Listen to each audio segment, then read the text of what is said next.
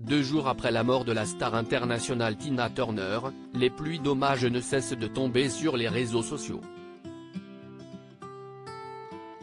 Vendredi 26 mai 2023, CIST sur scène que Queen B a décidé d'évoquer la perte d'une de ses idoles. Sur scène, elle était l'une des plus grandes stars du rock'n'roll. Mercredi 24 mai 2023, Tina Turner a malheureusement tiré sa révérence.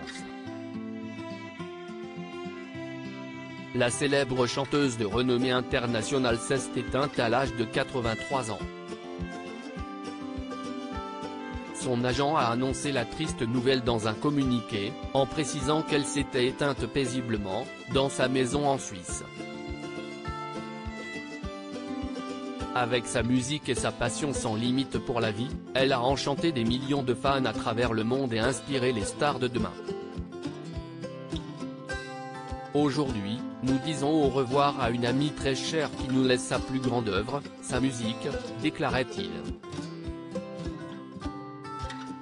Les causes de sa mort ont finalement été révélées ce vendredi 26 mai, la chanteuse est morte des suites d'un cancer de l'intestin, de quatre décennies d'hypertension artérielle et après avoir subi une greffe de rein, expliquait le Daily Mail.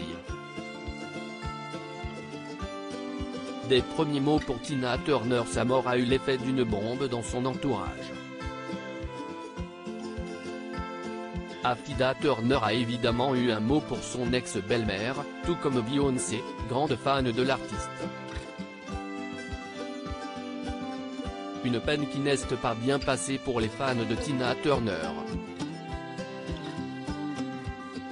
Ils ont le sentiment que Queen B a manqué de respect à la chanteuse dans les paroles de Drunk in Love où elle évoquait les violences de Ike Turner. Des excuses? Beyoncé n'a pas présenté. Elle a fait mieux. Actuellement en tournée planétaire, CIST à Paris, au Stade de France, que la compagne de Jay-Z se produisait vendredi 26 mai 2023. Fortement attendue par son public, elle a fait sensation dès ses premiers mots. En effet, avant de commencer à chanter et assurer le show, Beyoncé a pris la parole pour rendre un émouvant hommage à Tina Turner. Je ne serai pas sur cette scène sans Tina Turner, je veux que vous criiez pour qu'elle ressente votre amour, a-t-elle déclaré.